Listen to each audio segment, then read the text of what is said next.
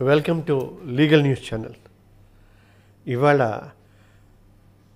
misuse of section four ninety eight గురించి కొంచెం మాట్లాడగలను ఈ section four ninety eight A of IPC వచ్చిన తర్వాత భర్త తన మాట వింటలేదు లేదా భర్త తన ఫ్యామిలీ మెంబర్స్ మాట వింటున్నాడు నా చెప్పు చేతుల్లో ఉండట్లేదు తనని నేను కొంగున ముడేసుకోవటం కుదరట్లేదు తనని మా అమ్మ చెప్పినట్టుగా నేను మోల్డ్ చేసుకోలేకపోతున్నాను.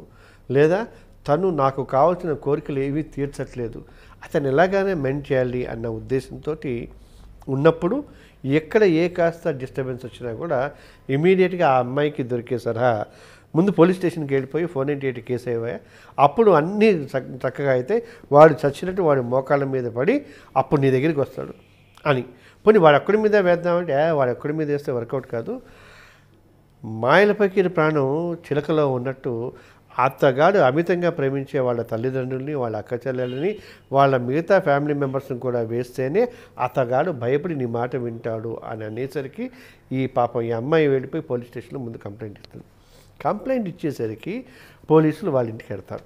తెల్లారిదాన్ని అరెస్ట్ చేయటమో జైలుకి పంపించడమో వగైరా వగైరా అన్నీ అయ్యి ఒకవేళ అరెస్ట్కి నుంచి తప్పించుకుని వీళ్ళు యాంటిసిపేటరీ బెయిల్ అయ్యి లాయర్లకి బోల్డ్ అంత డబ్బు ఖర్చు పెట్టి ఒక నెల రోజుల పాటు కాందిశీకుల్లాగా లేదా ఏదో పెద్ద నేరం చేసిన దొంగల్లాగా హంతకుల్లాగా పారిపోతూ ఉండేసరికి మొత్తం ఏమాత్రమైనా కొంత సాఫ్ట్ కార్నర్ ఉన్నా కూడా ఆ చిన్న చీలిక వాళ్ళిద్దరి మధ్యలో వచ్చిన వాళ్ళ లైఫ్ మ్యారిటల్ లైఫ్లో వచ్చిన చిన్న చీలిక అగాధంలాగా పెరిగి పెద్దదైపోతుంది.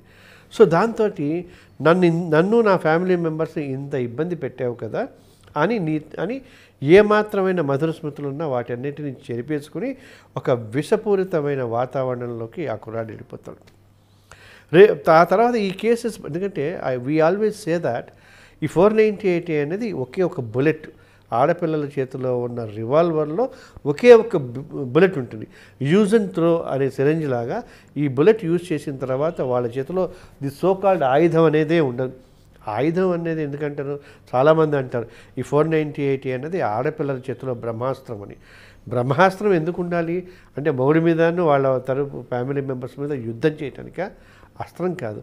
ఓ చిన్న అవకాశం అని అనుకోగలిగితే లేదా చాలా దారుణాలకి గురైపోయిన ఆడపిల్లని రక్షించటానికి ఆ పిల్ల కన్నీళ్ళు తొడవటానికి ఈ సెక్షన్ ఉంది అనుకుంటే పర్వాలేదు. కానీ దాన్ని మొగుడి మీద యూజ్ చేసుకోవాలనుకునేసరికి ఈ అనర్థాలన్నీ వచ్చేస్తుంటాయి.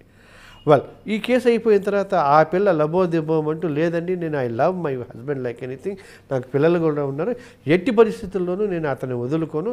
నాకు నా భర్తని భర్తతో కాపురం చేసే అవకాశం కలిగించండి అని నెత్తి నోరు కొట్టుకునే ఆడపిల్లల సంఖ్య బోల్డ్ ఉన్నాయి. అలాగే ఆ ఆడపిల్ల తల్లిదండ్రులు కూడా లేదండి ఏదో ఏదో కొంత పరిపాటు జరిగిపోయింది. ఎలాగైనా నా కూతురు కాపురం నిలబెట్టండి అని ఏడ్చే తల్లిదండ్రులు కూడా ఉన్నారు. కానీ అప్పటికే జరగాల్సిన డ్యామేజ్ జరిగిపోతుంది. చేతులు కాలాక ఆకులు పట్టుకోవటం అన్న సామెతలాగా ఈ పిల్ల జీవితం నడిరోడ్డు మీద ఉంటుంది. అందుకే ఫోర్ నైంటీ ఎయిట్ వేయటం అంటే తన కాపురానికి తనే గండి కట్టుకోవటం తన గొయ్యి తనే తవ్వుకోవటం. నిజంగా ఫిజికల్గా చాలా హెరాస్మెంట్ పడుతూ ఆ రాక్షసుడి దగ్గర నుంచి విముక్తి కావాలి అనుకున్నప్పుడు అతగాన్ని శిక్షించడానికి తప్పకుండా ఫోర్ నైంటీ ఎయిట్ యూజ్ చేయొచ్చు. కానీ ఈ ఫోర్ నైంటీ ఎయిట్ మిస్యూజ్ని ఆపటానికే డొమెస్టిక్ వైలెన్స్ యాక్ట్ వచ్చింది. Prevention of women from domestic violence act అని వచ్చింది.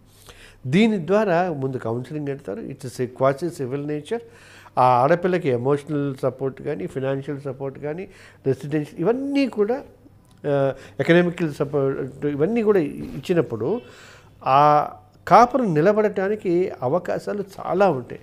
అందుచేత నా సలహా ఏంటంటే ఎక్కడ ఇబ్బంది వచ్చిన ఆడపిల్లకి ముందు అంటే కౌన్సిలింగ్కి వెళ్ళండి. కౌన్సిలింగ్ కూడా ఫెయిల్ అయిపోతే డొమెస్టిక్ వైలెన్స్ యాక్ట్ కింద ప్రొటెక్షన్ ఆఫీసర్ కనుక వెళితే పోలీసులు పోలీసుల అట్రాసిటీస్ వాళ్ళ అత్యుత్సాహము వాళ్ళు చేసే దారుణాలు వీటన్నిటికీ అవకాశం ఉండకుండా స్టిల్ మీరు నన్ను వదిలేశారు కాబట్టి నేను మీతో సంప్రదింపులు జరపడానికి ఈ డీవీ యాక్ట్ని ఆశ్రయించాను అని చెప్పటానికి పాపం ఆడపిల్లకి ఆడపిల్ల తల్లిదండ్రులకి ఒక చిన్న మార్గం ఉంటుంది.